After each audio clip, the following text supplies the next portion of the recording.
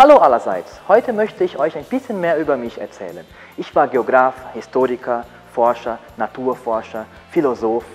Ich wurde in Berlin geboren, in Deutschland, wo ich Ende des 18. Jahrhunderts verschiedene Naturexpeditionen durchgeführt habe.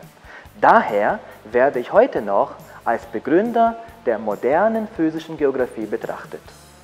Als ich 20 Jahre alt war, reiste ich durch die Welt, insbesondere durch Asien, Europa, Amerika.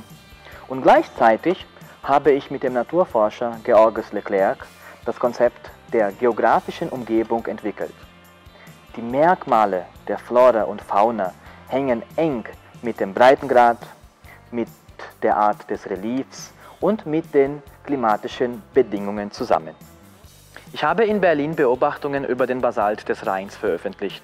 Dann habe ich an der Freiberger Bergbauakademie studiert.